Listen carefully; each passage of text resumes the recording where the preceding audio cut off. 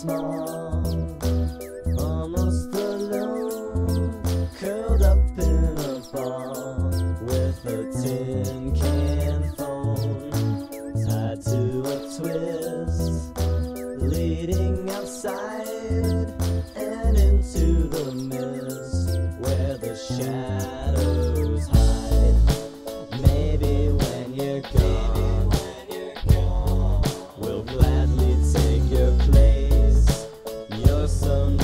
angels.